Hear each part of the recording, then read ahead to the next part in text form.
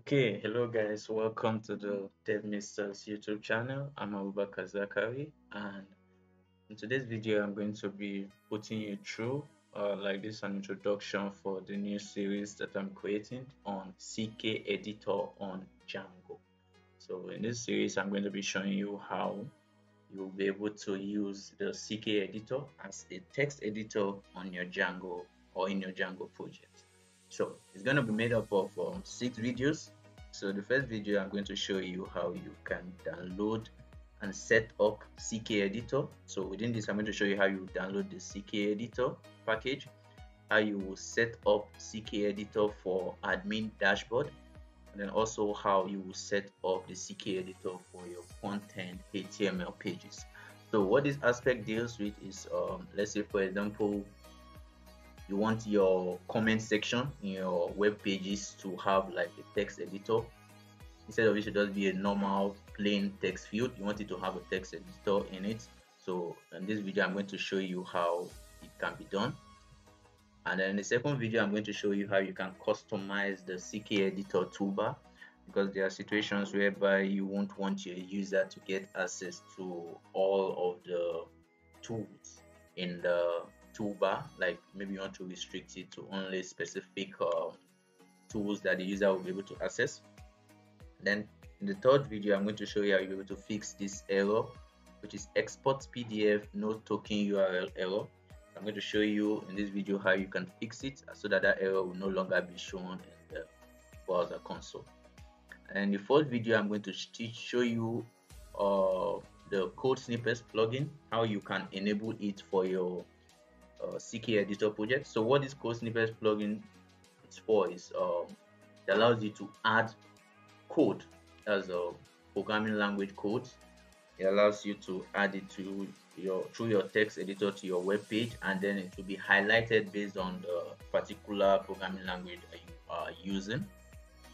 So I'll show you how you can enable it for the CK editor, and I'll also show you how you can customize the theme so the background theme there are a wide variety of colors that are available for ck editor so i'll show you how you can access all of them and enable them for your uh for your text editor for the Django for the ck editor.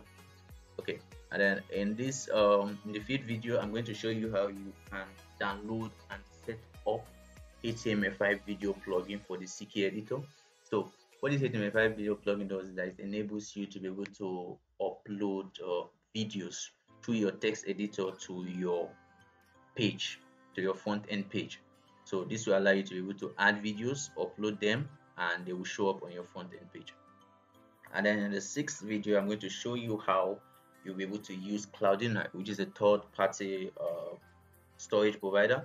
You're going to use it for storing the static files that you uh, upload through your ck editor. So static files this means the videos and the images. So instead of them to be stored locally they will now be stored in cloudinary so uh, let me open this. This is the end result that we are going to be getting as you can see. This is the front end of my website. And you can see this is the admin dashboard that Django creates for me. You can see if I try to add a new blog you see the text editor? This is the CK editor. When you add it let's name um, CK editor body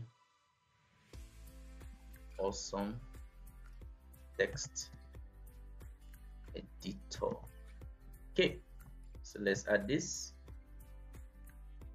See it was added successfully okay now this is done uh, through the admin dashboard. Let me do it now through the front end. So um, CK editor 2 really awesome text editor. Uh, so let me uh, let me do something. Instead of just adding text let me add an image as well. So this has like a an uploading field. So you'll be able to upload images. For example